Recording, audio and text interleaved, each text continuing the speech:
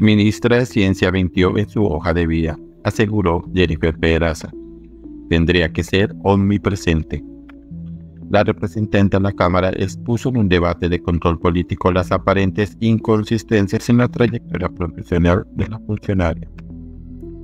La ministra Yesenia Olaya Requeni es otra de las funcionarias del gobierno nacional que tendrá que explicar la información consignada en su hoja de vida, luego de que la representante Jennifer Pedraza la acusara de incluir información falsa en su experiencia profesional y académica. La ministra de Ciencia, Tecnología e Innovación de Colombia, según el estudio del equipo legislativo de la representante del Partido de Equidad, no solo exageró sus credenciales académicas y su experiencia docente en varias universidades reconocidas, sino que también mintió sobre su supuesto rol como profesora en la prestigiosa Universidad de Harvard. La investigación sostiene que Olaya habría afirmado falsamente haber dictado clases en Harvard, una institución catalogada por los rankings y de Shanghai como la mejor universidad del mundo para los años 2023 y 2024. Las declaraciones de Olaya en dos versiones de su currículum presentadas para su posesión como viceministra y posterior ministra señalaban una supuesta contribución docente de casi un año en el APLO Latin American Research Institute afiliado a la Facultad de Artes y Ciencias Sociales de Harvard. Pedraza solicitó los soportes de ese trabajo a la función pública y en respuesta se le entregó un certificado firmado por el director del APNO Latin American Research Institute, Alejandro de la Fuente. En el documento se acredita que el seminario tuvo un total de 48 horas de docencia en modalidad virtual entre el 14 de septiembre de 2021 y el 12 de septiembre de 2022. La representante también consultó a Stephen Cahill, director de la Oficina de Asuntos Postdoctorales de Harvard, quien en respuesta a la solicitud aclaró que no se consideran parte del cuerpo docente, las tres formas de vinculación que tuvo Olaya con la institución.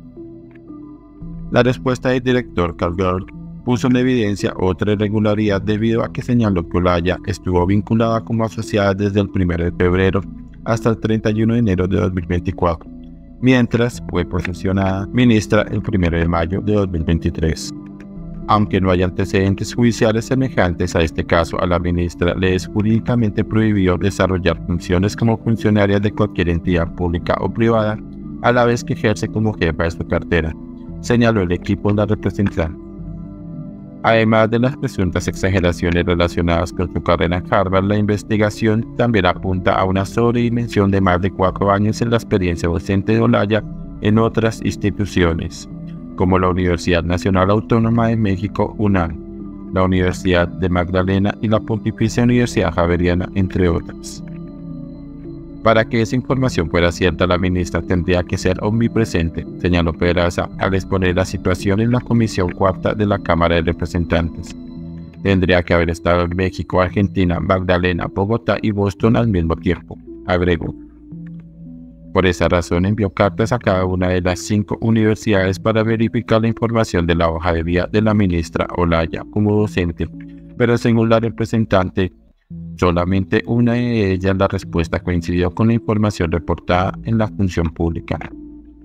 Por ejemplo, en la Universidad Autónoma de México señalaron que Olaya terminó su relación laboral el 31 de julio de 2019 y no el 13 de mayo de 2022, como dice el documento público de experiencia que acreditó la ministra para asumir el cargo.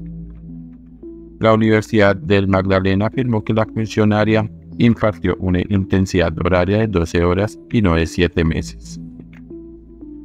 La Universidad Javeriana, por su parte, señaló que certifica que la información no corresponde porque Olaya no fue profesora durante el primer semestre de 2021, sino que estuvo bajo hora cátedra en la Facultad de Ciencias Sociales entre el 24 de julio y el 28 de agosto de 2021, así como del 10 de agosto al 11 de noviembre.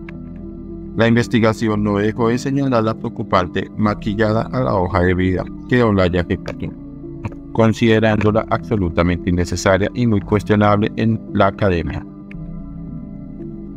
Asimismo, se subraya que pese a no ser un requisito legal para el cargo ministerial, este tipo de prácticas expone cuestionamientos éticos legales y desnuda actitudes intelectualmente revistas en el ámbito político colombiano.